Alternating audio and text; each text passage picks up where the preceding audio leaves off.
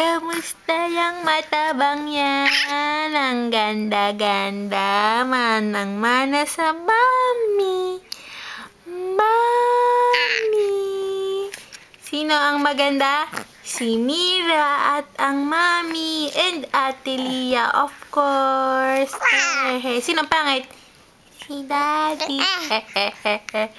Si Daddy.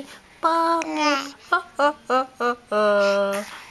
Sleepy ng taba ching-ching ko.